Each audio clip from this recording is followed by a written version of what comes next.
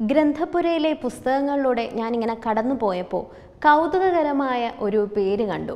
ഭാസിരാജൻ ആയിരത്തി തൊള്ളായിരത്തി അൻപത്തി ഏഴിൽ പുറത്തിറങ്ങിയ ഒരു പുസ്തകത്തിന്റെ പുതിയ പതിപ്പാണ് ഇത്. ഇതിന്റെ ഗ്രന്ഥകർത്താവായ ആർ ഭാസ്കരൻ നായർ മുഖപുരയിൽ ഇങ്ങനെ എഴുതിയിട്ടുണ്ട്. ആയിരത്തി തൊള്ളായിരത്തി നാൽപ്പതിൽ അഞ്ചാം ഫാറത്തിൽ വെച്ച് ചാൾസ് ഡിക്കൻസിന്റെ സുപ്രസിദ്ധ നോവലായ ഡേവിഡ് കോപ്പർഫീൽഡ് എന്ന പുസ്തകം പഠിക്കാനുള്ള ഭാഗ്യം സിദ്ധിച്ചു. രസകരമായ ഈ കഥയെ അനുകരിച്ച് മലയാളത്തിൽ ഒരു നോവൽ എഴുതിയാൽ കൊള്ളാമെന്ന് അക്കാലം മുതലേ ആഗ്രഹിച്ചു. ഇത്രയും വായിച്ചപ്പോൾ പുസ്തകത്തെക്കുറിച്ച് എനിക്കൊരു ഏകദേശ ധാരണയുണ്ടായി. നമ്മുടെ മലയാളത്തിൽ ഒരു കാലത്ത് നോവലുകൾ മിക്കതും പ്രസിദ്ധമായ ഇംഗ്ലീഷ് നോവലുകളുടെ അനുകരണങ്ങളായിരുന്നു. ഇംഗ്ലീഷ് നോവൽ പുസ്തകങ്ങൾ പോലെ ഒന്ന് എഴുതണമെന്ന ആഗ്രഹത്തിൽ നിന്നാണ് ഇന്ദുലേഖ എഴുതിയതെന്ന് ഒ ചന്തുമേനോൻ പറഞ്ഞിട്ടുണ്ട്. വോൾട്ടർ സ്കോട്ടിന്റെ ഇവാൻ ഹോ എന്ന നോവലിനെ അനുകരിച്ചാണ് നമ്മുടെ സി വി രാമൻപിള്ള മാർത്താണ്ഡവർമ്മ എന്ന നോവൽ എഴുതിയത്. ഈ രണ്ടും നമ്മുടെ മഹത്തായ നോവലുകളാണ്. മലയാളത്തിൽ ആദ്യകാലത്തിറങ്ങിയ പല നോവലുകളും ഇംഗ്ലീഷ് നോവലുകളിലെ കഥാപാത്രങ്ങളെ മലയാളീകരിച്ച് എഴുതിയതാണ്. ഉദാഹരണത്തിന് ഈ ഡേവിഡ് കോപ്പർ ഫീൽഡ് തന്നെ മുൻപ് മലയാളത്തിൽ പലരും എഴുതിയിട്ടുണ്ട്. ഒരു പുസ്തകത്തിൽ ഡേവിഡ് കോപ്പർ ഫീൽഡ് എന്ന കഥാപാത്രത്തിന്റെ പേര് ചെമ്പുകണ്ടത്തിൽ ദാവീദ് എന്നാക്കിയിട്ടുണ്ട്. അതായത് പേര് തന്നെ മലയാളത്തിലേക്ക് ട്രാൻസ്ലേറ്റ് ചെയ്തിരിക്കുകയാണ്. മറ്റൊരു പുസ്തകത്തിൽ ഷെർലക് ഹോംസിന്റെ പേര് സൊർലോക ഹംസൻ എന്നാക്കിയിട്ടുണ്ട്. പക്ഷേ ഇവിടെ എന്റെ കയ്യിലിരിക്കുന്ന ഈ പുസ്തകത്തിൽ ഡേവിഡ് കോപ്പർഫീൽഡിന്റെ പേര് ഭാസി രാജൻ എന്നാണ്. ഇതിലെ മറ്റു കഥാപാത്രങ്ങൾ മുക്കിനടപ്പൻ മുക്കുബേരൻ ക്രൂരകാളൻ മാലക്കിഴങ്ങൻ തുടങ്ങിയവരാണ്. അപ്പോൾ ഇതാണ് ഒന്നാമത്തെ കൗതുകം. ഇനി രണ്ടാമത്തെ കൗതുകം എന്താണെന്ന് വെച്ചാൽ ഈ പുസ്തകം പ്രസിദ്ധീകരിച്ചിരിക്കുന്നത് ഒരു ഗ്രന്ഥശാലയാണ്. പൂജപ്പുരയിലെ യുവജന സമാജം ഗ്രന്ഥശാല. മറ്റുള്ളവരിൽ നിന്ന് പുസ്തകം വാങ്ങുകയാണല്ലോ ഗ്രന്ഥശാലകൾ സാധാരണ ചെയ്യുന്നത്. അപ്പോൾ ഗ്രന്ഥശാല സ്വന്തമായി പുസ്തകം പ്രസിദ്ധീകരിക്കുന്നത് വളരെ നല്ലൊരു ആശയമാണല്ലോ. പത്മരാജനെ കുറിച്ചുള്ള ദേവാങ്കണങ്ങളിലെ താരകം എന്ന പുസ്തകമായിരുന്നു ഈ പൂജപ്പുരയിലെ യുവജന സമാജം ഗ്രന്ഥശാല ആദ്യമായി പ്രസിദ്ധം ചെയ്തത്. അപ്പോൾ ഇന്ന് വായിക്കാൻ പോകുന്ന പുസ്തകം ആർ ഭാസ്കരൻ നായർ രചിച്ച ഭാസിരാജൻ ഗ്രന്ഥപുരയിലേക്ക് സ്വാഗതം.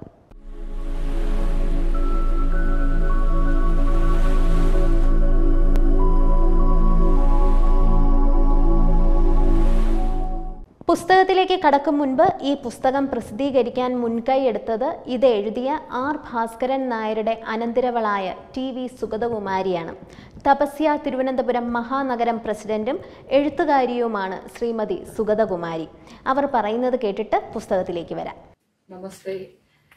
ചാൾസ് ഡിക്കൻസിന്റെ ഡേവിഡ് കോപ്പർഫീൽഡ് എന്ന പ്രസിദ്ധമായ നോവൽ അഞ്ചാം ഭാരത്തിൽ പഠിക്കുവാൻ ഭാഗ്യം ലഭിക്കുകയും രസകരമായ ആ കഥയെ മലയാളത്തിലേക്ക് ഒരു വെറും തർജമയല്ല ഒരു സ്വതന്ത്രാനുകരണം നടത്തിയത് എന്റെ അമ്മാവനായ ആർ ഭാസ്കരൻ നായരാണ്. ഭാസിരാജന്റെ ആദ്യ പതിപ്പ് ആയിരത്തി തൊള്ളായിരത്തി അൻപത്തി മൂന്നിലാണ് അദ്ദേഹത്തിന്റെ മരണശേഷമാണ് ഞാൻ ഈ പുസ്തകം വായിക്കുന്നത്. വർത്തമാന കാലത്തിന്റെ സംഭാവനകൾ എന്ന് നാം പറഞ്ഞു വെക്കുന്ന പല തിന്മകളും എല്ലാ കാലത്തും നിലനിന്നിരുന്നു എന്ന് ഈ പുസ്തകത്തിന്റെ വായനയിലൂടെ നമുക്ക് മനസ്സിലാവും രണ്ടാം ഭർത്താവിനെ ഭയന്ന് മകനോടുള്ള സ്നേഹം പ്രകടിപ്പിക്കുവാനാകാതെ കടമ നിറവേറ്റുവാനാകാതെ ധർമ്മസങ്കടത്തിലാവുന്ന ഭാരതി കാലഗണനയ്ക്ക് അതീതമായി നിലനിൽക്കുന്നു. സ്നേഹവും ദുഃഖവും നന്മയും തിന്മയും ആത്മാർത്ഥതയും നെറുകേടും എല്ലാം കൂടിച്ചേർന്ന് കിടക്കുന്ന ഈ സൃഷ്ടിയുടെ പിന്നിലെ അധ്വാനം ശ്രദ്ധിക്കപ്പെടാതെ പോയോ എന്ന ആശങ്കയും ആദ്യ പതിപ്പിന്റെ കോപ്പികൾ കിട്ടാനിടയില്ലാതെ വന്നതും പുനഃപ്രസിദ്ധീകരണത്തിന് കളമൊരുക്കി. ഗ്രന്ഥപുരയിൽ ഈ പുസ്തകം ഉൾപ്പെടുത്തിയതിൽ അതിയായ സന്തോഷമുണ്ട്. അധ്യായം ഒന്ന് ബാല്യകാലം. അപ്പോൾ ബാല്യകാലത്തിൽ നിന്ന് തുടങ്ങുകയാണ്. ഞാൻ ഭാസിരാജൻ. അച്ഛന്റെ മരണശേഷം ആറുമാസം കഴിഞ്ഞപ്പോൾ ദക്ഷിണേന്ത്യയിലുള്ള ബന്ധുരപുരം എന്ന ചെറിയ പട്ടണത്തിൽ ജനിച്ചു. ആലോചിച്ചു നോക്കിയതിൽ ഞാൻ കുഞ്ഞായിരുന്നപ്പോൾ എന്റെ അമ്മയും ഭഗതി എന്ന് വിളിക്കുന്ന ശരിയായ നാമം ഭഗവതി. ഭഗതി എന്ന് വിളിക്കുന്ന ഒരു വേലക്കാരിയും മാത്രമേ എന്റെ വീട്ടിൽ ഉണ്ടായിരുന്നുള്ളൂ. എന്റെ അമ്മ യുവതിയും ധാരാളം തലമുടിയുള്ളവരും വേലക്കാരി നല്ലവണ്ണം കറുത്ത് പ്രകാശിക്കുന്ന കണ്ണോടുകൂടിയുള്ളവളും ആയിരുന്നു. എനിക്ക് അതിശയമായി തോന്നിയത് വേലക്കാരിയുടെ അതിയായ അരുണവർണം കലർന്ന ഗണ്ഡദ്വയങ്ങളെയും ഇരുകരങ്ങളെയും പക്ഷികൾ പഴുത്ത മാമ്പഴങ്ങളാണെന്ന് വിചാരിച്ച് കൊത്തിക്കൊണ്ടു പോയില്ലല്ലോ എന്നുള്ളതാണ്. അരുണവർണം എന്ന് പറയുന്നത് ചുവന്ന നിറം. അടുത്തതായി ഞങ്ങളുടെ വീട് കുരുവിവിള. ആ അഴകുള്ള ചെറിയ വീട്ടിലെ കതകുകളും ജന്നലുകളും നാട്ടുംപുറത്തെ ശുദ്ധവായു കയറാൻ തുറന്നിട്ടിരിക്കുന്നതും പണ്ടത്തെ കുരുവിക്കൂടുകൾ തോട്ടത്തിലെ തെങ്ങോലയിൽ കൂട്ടം കൂട്ടമായി തൂങ്ങിക്കിടക്കുന്നതും ഇപ്പോഴും എനിക്ക് കാണാൻ കഴിയും. വീട്ടിനകം ഒരുവിധം ഇടുങ്ങിയതായിരുന്നുവെങ്കിലും നല്ല സുഖമുള്ളതായിരുന്നു. അടുക്കളയിൽ അടുപ്പിന്റെ ചുവട്ടിൽ വിശേഷിച്ചും വർഷകാലത്ത് സന്ധ്യയാകാറാവുമ്പോൾ ഭഗതി നൂലും സൂചിയും എടുത്തുകൊണ്ട് എന്റെയും അമ്മയുടെയും സമീപത്ത് വന്ന് കുത്തിയിരുന്ന് എന്തെങ്കിലും തച്ചുകൊണ്ടിരിക്കും. ഞാൻ സാധാരണ രണ്ടുപേരുടെയും ഇടയ്ക്ക് കയറിയിരുന്ന് എന്തെങ്കിലും കഥകൾ മണ്ണാങ്കട്ടയുടെയും കരിയിലയുടെയും കഥ പോലുള്ളത് പറഞ്ഞുകൊണ്ടിരിക്കും. ഞങ്ങൾക്ക് ഭഗതിയെ ഒരുവിധം ഭയമായിരുന്നു എന്നും കാര്യവിചാരം നടത്താൻ സാധാരണ അവരെ അനുവദിച്ചിരുന്നു എന്നുമാണ് എനിക്ക് തോന്നുന്നത്. എന്നിരുന്നാലും ഞങ്ങൾ വളരെ സുഖമായി തന്നെ കഴിഞ്ഞുകൂടി. ഒരു ദിവസം രാത്രി അടുപ്പിന്റെ മൂട്ടിൽ ഞാനും ഭഗതിയും തനിയെ ഇരിക്കുമ്പോൾ ഞാൻ ചീങ്കണ്ണികളെയും മുതലകളെയും പറ്റി അവരെ വായിച്ച് കേൾപ്പിച്ചുകൊണ്ടിരിക്കുമ്പോൾ ഒരു ശബ്ദം കേട്ടു. ഞങ്ങൾ വാതുക്കൽ വന്നു നോക്കുമ്പോൾ എന്റെ അമ്മ കഴിഞ്ഞ വെള്ളിയാഴ്ച ക്ഷേത്രത്തിൽ നിന്നും ഞങ്ങളോടൊന്നിച്ച് വീട്ടിൽ വന്നു. അഴകുള്ള മുടിയും മേൽമീശയുമുള്ള ഒരു യോഗ്യനോടൊന്നിച്ച് പതിവിലധികം അഴകുള്ളവളായിട്ടെന്ന് തോന്നുമാറ് നിൽക്കുന്നുണ്ടായിരുന്നു. എന്തുകൊണ്ടോ എനിക്ക് അയാളെയോ അയാളുടെ തുറന്ന സ്വരത്തെയോ ഒട്ടും തന്നെ പിടിച്ചില്ല. കൂടാതെ അയാൾ അമ്മയുടെ കയ്യിൽ തൊടുന്നത് കണ്ടപ്പോൾ എനിക്ക് അയാളോട് ഒരു വല്ലാത്ത അസൂയ തോന്നി. ക്രമേണ എനിക്ക് അയാളെ പതിവായി കാണേണ്ടി വന്നു. അതെ മധുസൂദനൻ. അപ്പോൾ ആ വന്ന ആളുടെ പേര് പറയുകയാണെ മധുസൂദനൻ. അയാൾ കൂടെ കൂടെ കുരുവിവിള വീട്ടിൽ വരിക പതിവായി തീർന്നു. എങ്കിലും എനിക്ക് ആദ്യം കണ്ടപ്പോഴുള്ളതിനേക്കാൾ ഒട്ടും കൂടുതൽ സന്തോഷം അയാളോട് തോന്നിയില്ലെന്ന് മാത്രമല്ല ആദ്യത്തെ പോലുള്ള ഒരു തരം വല്ലായ്മ നിറഞ്ഞ അസൂയയും ഉണ്ടായിരുന്നു. വേനൽക്കാലത്ത് ഒരു ദിവസം രാവിലെ മധുസൂദനൻ കുതിരപ്പുറത്ത് കയറി വന്നപ്പോൾ ഞാൻ അമ്മയോടൊന്നിച്ച് പുരോഭാഗത്തുള്ള തോട്ടത്തിൽ നിൽക്കുകയായിരുന്നു. പുരോഭാഗം എന്ന് പറയുന്നത് പുറകുഭാഗം പുറകുഭാഗത്ത് ഉള്ള തോട്ടത്തിൽ നിൽക്കുകയായിരുന്നു. അയാൾ അമ്മയുടെ അടുത്ത് വന്ന് കുതിരയെ നിർത്തിയിട്ട് സന്തോഷപ്രകടനത്തിനായി ചില സ്നേഹിതന്മാരെ കാണാൻ ലാസവത് പോകുകയാണെന്നും ഞാൻ കുതിര സവാരി ഇഷ്ടപ്പെടുന്നെങ്കിൽ എന്നെ കൂടി കുതിരപ്പുറത്ത് കയറ്റിക്കൊണ്ട് പോകുമെന്നും ചിരിച്ചുകൊണ്ട് പറഞ്ഞു. ഈ ലാസവത്ത് എന്ന് പറയുന്നത് ഒരു സ്ഥലത്തിന്റെ പേരാണേ. അന്തരീക്ഷം അത്രയ്ക്ക് തെളിഞ്ഞ് ആഹ്ലാദപ്രദമായിരുന്നതിനാലും കുതിര യാത്ര ചെയ്യാൻ അത്രയ്ക്ക് സന്നദ്ധമായി കാണപ്പെട്ടിരുന്നതിനാലും എനിക്ക് സവാരി ചെയ്യണമെന്ന് വാസ്തവത്തിൽ വലിയ കൊതി തോന്നി. പോകാൻ അമ്മയുടെ അനുവാദം കിട്ടിയ ഉടനെ കുളിപ്പിച്ച് നല്ലവണ്ണം മുണ്ടുടുപ്പിച്ച് തരാനായി ഭഗതിയുടെ അടുക്കൽ ഞാൻ ഓടിപ്പോയി. ഞാൻ തിരികെ വന്നപ്പോൾ മധുസൂദനൻ വേലിയുടെ വെളിയിലും എന്റെ അമ്മ അയാൾക്ക് സമമായി വേലിയുടെ അകത്തും ഉലാത്തിക്കൊണ്ടിരിക്കുന്നത് കണ്ടു. മധുസൂദനൻ ഒരു നല്ല സവാരിക്കാരനായിരുന്നു. അതിനാൽ ഞാൻ ലാസവത്ത് യാത്ര നല്ല പോലെ ആനന്ദിച്ചു. എനിക്ക് അയാളെ നല്ല വിശ്വാസമില്ലെങ്കിലും ഒരു വളരെ നല്ല മനുഷ്യനാണെന്ന് വിചാരിച്ച് ഞാൻ പലതവണ അയാളുടെ മുഖത്ത് നോക്കി. എന്റെ പാവപ്പെട്ട പ്രിയ മാതാവും അയാളെപ്പറ്റി ഇതുപോലെ തന്നെ വിചാരിച്ചെന്നാണ് എനിക്കുള്ള ബലമായ വിശ്വാസം. ലാസവത് ഞങ്ങൾ സമുദ്രതീരത്തുള്ള ഒരു ഭക്ഷണശാലയിൽ കയറി. ഇവിടെ ഒരു മുറിയിൽ പുകവലിച്ചു കൊണ്ടിരുന്ന രണ്ട് മാന്യന്മാരെ ഞങ്ങൾ കണ്ടു. അവർ മധുസൂദനനെ കണ്ട മാത്രയിൽ എഴുന്നേറ്റ് പറഞ്ഞു എന്താ മധുസൂദനൻ നിങ്ങൾ ചത്തെന്നല്ലേ ഞങ്ങൾ വിചാരിച്ചത്? ഇതുവരെയില്ല എന്ന് മധുസൂദനൻ പറഞ്ഞു. ഈ കൊച്ചൻ ആരാണ്?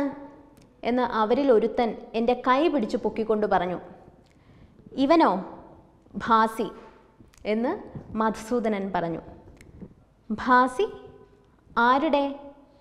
അയാൾ ചോദിച്ചു ഭാനമ്മ ഭാരതി എന്ന് മധുസൂദനൻ പറഞ്ഞു. എന്ത്? ആ സുന്ദരിയായ ഭാരതിയുടെ കൊച്ചുകുട്ടിയോ? ആ വിധവ? ഇവിടെ അയാൾ ആദ്യം ചോദിക്കുന്ന പേര് ഭാനമ്മ എന്നാണ്. അപ്പം ഇതിൽ നിന്ന് നമ്മൾ മനസ്സിലാക്കണം ഇദ്ദേഹത്തിന് ഈ ഭാരതിക്ക് മുൻപേ ഒരു റിലേഷൻ ഉണ്ട് എന്നുള്ളതാണ്. അതാണല്ലോ ഭാനമ്മ എന്ന് ചോദിക്കുന്നത്. അപ്പോൾ പറയുന്നു അല്ല ഭാരതിയാണ്. ഭാരതിയുടെ മകനാണ് എന്ന്. അപ്പോൾ അയാൾ ചോദിക്കുകയാണ് ആ സുന്ദരിയായ ഭാരതിയുടെ കൊച്ചുകുട്ടിയാണോ എന്ന്? കണിയാർ മധുസൂദനൻ പറഞ്ഞു ദയവ് ചെയ്ത് നിങ്ങൾ അല്പം സൂക്ഷിക്കണം. ഒരാളുടെ ശ്രദ്ധ ആരാണ്? എന്നയാൾ ചിരിച്ചുകൊണ്ട് ചോദിച്ചു. കാര്യം എന്തെന്നറിയാൻ ഞാൻ വേഗം മേൽപോട്ട് നോക്കി.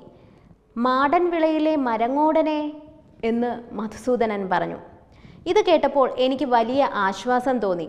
എന്തെന്നാൽ അവർ എന്റെ ശ്രദ്ധയെപ്പറ്റി പറയുകയാണെന്നാണ് വാസ്തവത്തിൽ ഞാൻ ധരിച്ചത്. ഇവിടെ കുട്ടി വിചാരിക്കുന്നു ഇദ്ദേഹം പറയുന്നുണ്ടല്ലോ ഈ മധുസൂദനൻ പറയുന്നു ശ്രദ്ധിക്കുന്നു ഒരാൾ ശ്രദ്ധിക്കുന്നു. അപ്പോൾ കണിയാർ ചോദിക്കുന്നു ആര് ആര് ശ്രദ്ധിക്കുന്നു? എന്ന് ചോദിക്കുമ്പോൾ മധുസൂദനൻ പറയുകയാണ് "ആ, ആ, മാടൻ വിളയിലെ മരങ്ങോടൻ.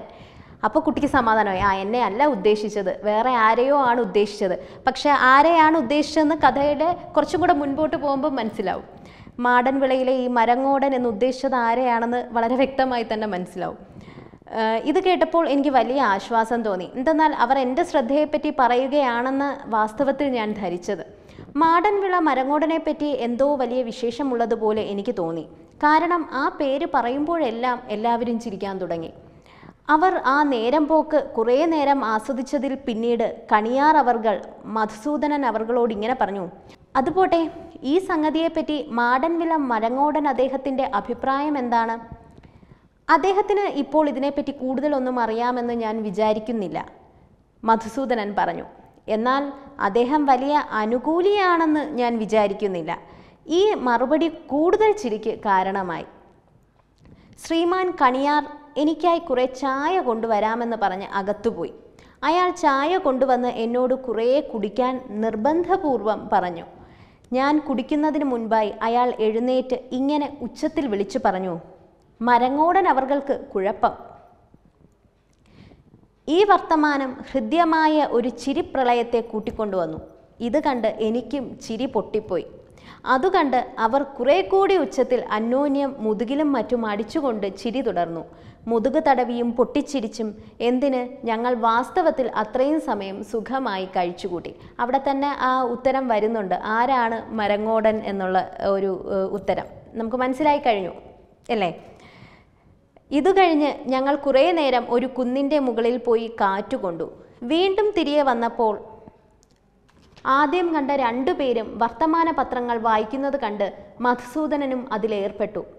ഈ സമയം ജലരാജൻ എന്ന വലിയ അക്ഷരത്തിൽ നെഞ്ചിന് കുറുകെ എഴുതിപ്പെട്ടിരിക്കുന്ന ഉടുപ്പ് ധരിച്ചിട്ടുള്ള ഒരു യോഗ്യനോട് ഞാൻ സംസാരിച്ചു കൊണ്ടിരുന്നു. ഞാൻ അദ്ദേഹത്തിന്റെ പേര് അതായിരിക്കുമെന്ന് വിചാരിച്ച് വിളിച്ചപ്പോൾ അതൊരു കപ്പലിന്റെ പേരാണെന്ന് അദ്ദേഹം എന്നോട് പറഞ്ഞു. വൈകിട്ട് നേരത്തെ തന്നെ ഞങ്ങൾ വീട്ടിലെത്തി. മഴയൊന്നും ഇല്ലാതിരുന്നതിനാൽ എന്നെ ആഹാരം കഴിക്കാൻ വീട്ടിലേക്ക് പറഞ്ഞയച്ചിട്ട് അമ്മയും മധുസൂദനനും തോട്ടത്തിൽ നടന്നുകൊണ്ടിരുന്നു. മധുസൂദനൻ പോയതിൽ പിന്നീട് അമ്മ എന്നോട് ഞാൻ അന്ന് കണ്ടതും കേട്ടതും എല്ലാം ഒന്നൊഴിയാതെ പറഞ്ഞു കേൾപ്പിക്കാൻ ആജ്ഞാപിച്ചു. അവർ അമ്മയെപ്പറ്റി പറഞ്ഞതെല്ലാം ഞാൻ പറഞ്ഞു കേൾപ്പിച്ചപ്പോൾ അവരെല്ലാം അസത്തുക്കളാണെന്ന് അവർ പറഞ്ഞുവെങ്കിലും അത് അവരെ സന്തോഷപ്പെടുത്തുക തന്നെ ചെയ്തു എന്ന കാര്യം ഞാൻ മനസ്സിലാക്കി. ഈ സംഭവത്തിന് ശേഷം രണ്ടു മാസം കഴിഞ്ഞ് ഒരു നാൾ ഞാനും ഭഗതിയും കൂടി അയൽവീട്ടിൽ പോയി വരുന്ന അമ്മയുടെ വരവിനെ പ്രതീക്ഷിച്ചിരിക്കുമ്പോൾ ഭഗതി എന്റെ മുഖത്ത് അനേകം തവണ നോക്കിയതിനു ശേഷം സ്തുതിയുടെ പിന്തുടർച്ച എന്ന പോലെ ഇങ്ങനെ പറഞ്ഞു. ഭാസി എരമത്ത് താമസിക്കുന്ന എന്റെ സഹോദരന്റെ വീട്ടിൽ പോയി രണ്ടാഴ്ച താമസിക്കാൻ എന്നോടുകൂടി വരുന്നതിന് നിനക്കിഷ്ടമാണോ? അത് ഒരു ഉത്സാഹമുള്ള യാത്രയല്ലേ? നിങ്ങളെ സഹോദരൻ കൊള്ളാവുന്നയാളാണോ ഭഗതി? ഞാൻ ചോദിച്ചു. കൊള്ളാം. എന്തൊരു നല്ല മനുഷ്യനാണ് അദ്ദേഹം എന്ന് രണ്ട് കൈകളും ഉയർത്തിക്കൊണ്ട് ഭഗതി പറഞ്ഞു. പിന്നെ അവിടെ സമുദ്രമുണ്ട് വള്ളങ്ങളുണ്ട് കപ്പലുകൾ മുക്കുവന്മാർ കടൽ തീരം പോരെങ്കിൽ ഞാനുമുണ്ട് കളിക്കാൻ. ഭഗതി ഉദ്ദേശിച്ചത് അവരുടെ മരുമകനായ കാമനെയാണ്. എന്നാൽ അവർ അവനെ മലയാള വ്യാകരണത്തിന്റെ ഒരംശമായിട്ടാണ് വർണിച്ചിരിക്കുന്നത്. ഞാൻ. വാസ്തവത്തിൽ അത് നല്ലത് തന്നെ. പക്ഷേ അമ്മ എന്ത് പറയുമോ? ഭഗതി നിനക്കിഷ്ടമാണെങ്കിൽ അവർ വരുമ്പോൾ തന്നെ ഞാൻ ചോദിക്കാം. നമ്മെ പോകാൻ അനുവദിക്കുമെന്ന് എനിക്ക് നല്ല ഉറപ്പുണ്ട്. അമ്മ അവരുടെ ഒരു സ്നേഹിതയോടൊന്നിച്ച് താമസിക്കാൻ പോകുകയാണെന്ന് ഭഗതി പറയുന്നത് വരെ അമ്മ തനിയേ ഉള്ളല്ലോ എന്ന് വിചാരിച്ച് ഞാൻ അല്പം സങ്കടപ്പെട്ടു. അമ്മയെ പ്രതീക്ഷിച്ച് എത്ര അക്ഷമയോടുകൂടിയാണ് ഞാൻ കാത്തിരുന്നത്. എരമത്ത് പോകാൻ അവരുടെ അനുവാദം കിട്ടിയപ്പോൾ എന്റെ ആനന്ദം എന്തു പറയാം? ഞങ്ങൾക്ക് പോകുവാനുള്ള ദിനവും വേഗം വന്നു ചേർന്നു. എന്റെ സുഖമുള്ള വീട്ടിൽ നിന്നും ഇറങ്ങി പുറപ്പെടാൻ എന്തുമാത്രം ഉത്സാഹമാണ് അന്ന് ഞാൻ കാണിച്ചതെന്ന് ഇപ്പോൾ വിചാരിച്ചു നോക്കുമ്പോൾ എനിക്ക് അതിശയം തോന്നുന്നു. ഞാൻ യാത്ര പോകാൻ ഭാവിച്ചപ്പോൾ എനിക്കൊരു ചുംബനം തരാനായി അമ്മ സമീപത്ത് വന്നപ്പോൾ എനിക്ക് സന്തോഷം തോന്നിയെങ്കിലും ഇതിനു മുൻപ് ഒരിക്കലും ഞാൻ വിട്ടുപിരിഞ്ഞിട്ടില്ലാത്ത വീടിനെയും അമ്മയെയും പറ്റിയുള്ള അതിയായ നന്ദിയും സ്നേഹവും എന്റെ മനസ്സിൽ തിങ്ങിക്കൂടിയതിനാൽ ഞാൻ കരഞ്ഞു. അമ്മയും കരഞ്ഞു എന്ന കാര്യം വിചാരിക്കുമ്പോൾ എനിക്ക് അല്പം സന്തോഷമുണ്ട്. ഈ സന്ദർഭത്തിൽ അവരുടെ ഹൃദയം എന്നിൽ ലയിച്ചു എന്ന് എനിക്ക് തോന്നി. എരമത്ത് പോകാനുള്ള വണ്ടി ഞങ്ങളെയും കൊണ്ട് നീങ്ങി തുടങ്ങിയപ്പോൾ മധുസൂദനൻ അമ്മയുടെ അടുത്ത് വന്ന് എന്നിൽ അവർക്കത്ര സ്നേഹം തോന്നിയതിനെപ്പറ്റി ആക്ഷേപിച്ച് ചിരിക്കുന്നത് ഞാൻ കണ്ടു. അപ്പോൾ അയാൾക്കിതിൽ എന്ത് കാര്യമെന്ന് ഞാൻ അതിശയിച്ചു. ഭഗതി വളരെ സന്തോഷചിത്തയായി കാണപ്പെട്ടു. അവരുടെ ഗണ്ഡഭാഗം കൂടുതൽ അരുണാഭമായി തീർന്നു ഇങ്ങനെയാണ് ആദ്യത്തെ അധ്യായം അവസാനിക്കുന്നത്. ഡേവിഡ് കോപ്പർഫീൽഡ് വളരെ സംഭവങ്ങൾ നിറഞ്ഞ ഒരു നോവലാണ്. ലോകഭാഷകളിലെല്ലാം ട്രാൻസ്ലേറ്റ് ചെയ്യപ്പെട്ടിട്ടുള്ള കൃതിയാണിത്. മലയാളത്തിലും ധാരാളം വിവർത്തനങ്ങളുണ്ട്. പക്ഷേ ഭാസി രാജൻ ഒരു വിവർത്തനമല്ല അതിനെ അനുകരിച്ചെഴുതിയ ഒരു സ്വതന്ത്ര കൃതിയാണ്. ഡേവിഡ് കോപ്പർഫീൽഡിന്റെ അനുഭവങ്ങളിലൂടെയാണ് ഇത് കടന്നു പോകുന്നത്. അതിലെ ആദ്യത്തെ അധ്യായമാണ് ഞാൻ ഇന്ന് വായിച്ചത്. ഇനി അങ്ങോട്ട് സംഭവ ബഹുലമായ കാര്യങ്ങളാണ് നടക്കുന്നത്. എന്തായാലും ഇന്നത്തെ ഗ്രന്ഥപുര എല്ലാവർക്കും ഇഷ്ടപ്പെട്ടു എന്ന് വിചാരിക്കുന്നു. മറ്റൊരു ഗ്രന്ഥപുരയുമായി വീണ്ടും കാണാം. നന്ദി നമസ്കാരം.